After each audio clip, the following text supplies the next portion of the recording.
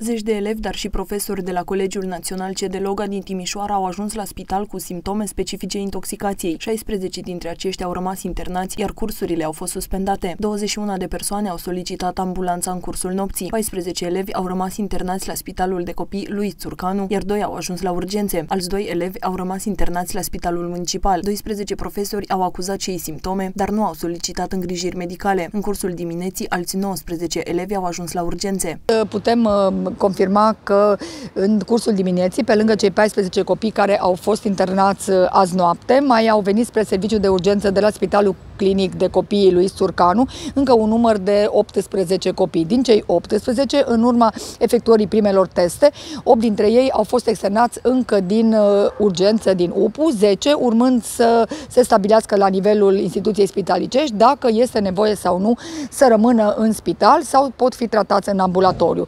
Doar unul dintre copii, înțeleg că a avut analizele ușor modificate și pentru care s-a recomandat imediat uh, ca acesta să fie spitalizat. La celelalte unități spitalicești de pe raza municipiului Timișoara nu mai avem uh, copii care uh, să fie internați. Au, s-au prezentat azi noapte încă doi elevi majori la Spitalul Clinic Municipal și în cursul acestei dimineți doamna director de la Colegiul Național C de Loga, care este în acest moment internată, însă posibil să fie și dumnea ei externată în cursul zilei în funcție de evoluția stării de sănătate.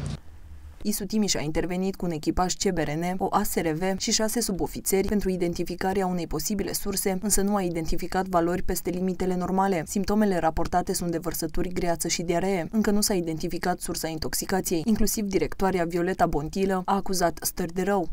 Starea copiilor este bună pentru toți copiii prezentați de astăzi dimineață. Ei până în acest minut sunt 19 veniți, după cei 14 internați până astăzi dimineață la ora 8. Ce simptome prezentau? La unul dintre ei ați găsit și un virus? Aceleași simptome au avut toți, durere abdominale, vărsături și unii dintre ei diaree.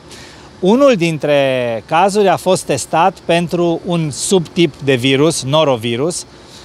Ceea ce trebuie să înțeleagă lumea este că noi nu testăm, nefiind nici măcar spital de boli infecțioase, nu testăm ce tip de virus dă diaree, pentru că tratamentul este același în fiecare caz.